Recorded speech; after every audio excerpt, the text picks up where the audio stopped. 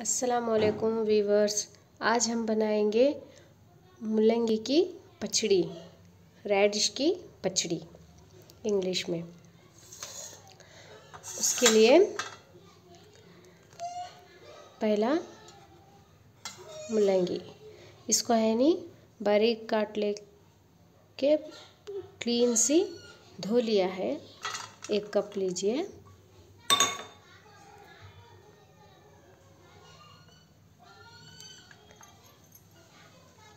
इसके बाद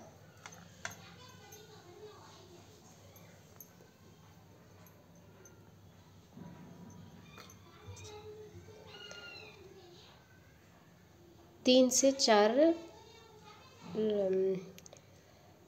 लहसुन के कलियाँ। छोटे छोटे पीसेस करके काट लिया है। इसके बाद कोथिम्बीर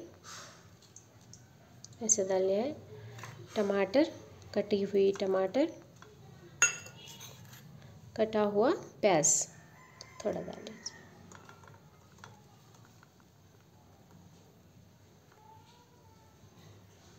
थोड़ा बस।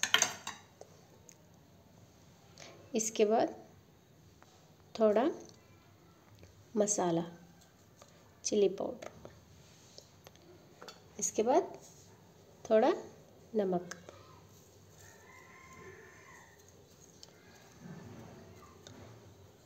यह है ना ऐसे सब इंग्रेडिएंट्स को मिक्स करें।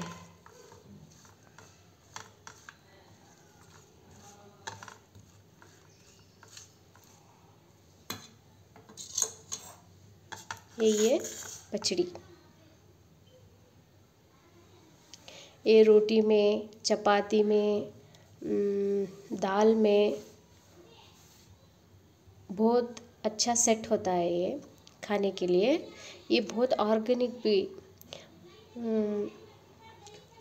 ऐसा ही खाने से, कच्चा खाने से इसके विटामिन्स बहुत सारे हैं।